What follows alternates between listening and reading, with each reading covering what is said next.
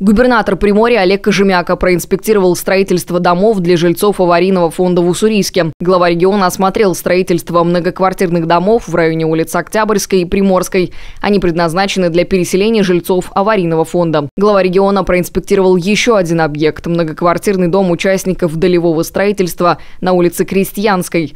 Олег Кожемяка поручил муниципалитету и подрядным организациям работать более интенсивно, чтобы приморские семьи как можно скорее смогли заехать в свои новые дома.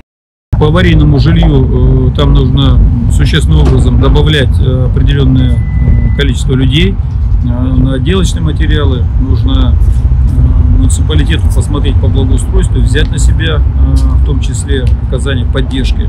Вот. Не надо загружать, скажем, аварийное жилье еще вопросами благоустройства. Это касается и подольщиков, ну, в том числе и по городу Владивостоку, значит, там по Сафонам, там тоже значит, муниципалитет должен взять на себя э, все виды благоустроительных работ, чтобы не перегружать э, стоимость э, значит, и расходы, значит, связанные с э, стоимостью э, квартир подольщиков. Вот, то есть мы выполняем работу по благоустройству довольно больших объемов. Э, у муниципалитетов есть денежные средства на это, на создание малых форм, на благоустройство.